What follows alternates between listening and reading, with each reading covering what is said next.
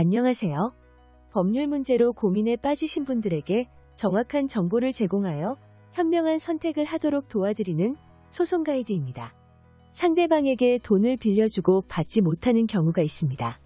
당사자 간 대화를 통해 문제를 해결할 수 있다면 가장 좋은 방법이겠지만 그렇지 못할 경우 지급 명령 신청 및 대여금 반환 청구 소송 같은 법적인 절차를 진행해야 합니다.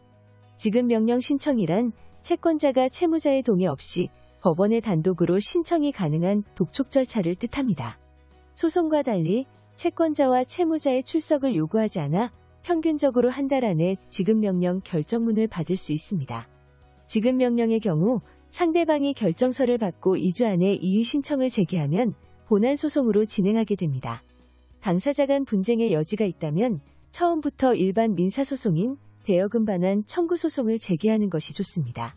대여금 분쟁과 관련하여 의뢰인과 상담을 진행해보면 당사자 간의 친한 사이인 탓에 차용증을 작성하지 않고 돈을 빌려줘 문제가 발생하는 경우가 많습니다.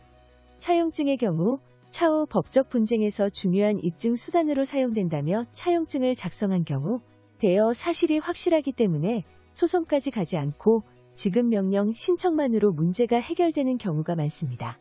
아무리 친한 사이라 해도 돈을 빌려줘야 한다면 차용증을 작성하는 것이 현명합니다. 차용증이란 금전되어 사실을 증명해주는 문서를 말합니다. 차용증의 경우 채무자가 채권자에게 돈을 빌렸다는 사실이 명확하기 때문에 차후 법적 분쟁이 발발하면 채권자 측에게 유리한 증거자료가 됩니다.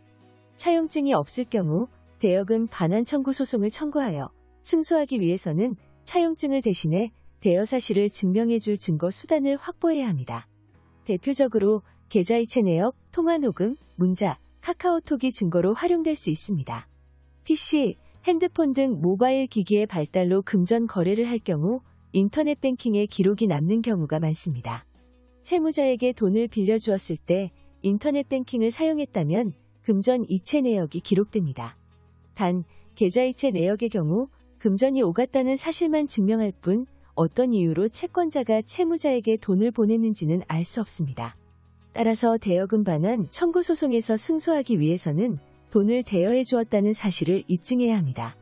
상대방이 돈을 변제할 것을 약속한 통화 녹음, 문자, 카카오톡 기록 등이 증거로 사용될 수 있습니다. 소송으로 진행할 경우 채권자에게 돈을 받은 사실은 인정하나 그 돈이 빌린 돈이 아니라 투자를 목적으로 받은 돈이라고 주장하는 채무자들이 있습니다.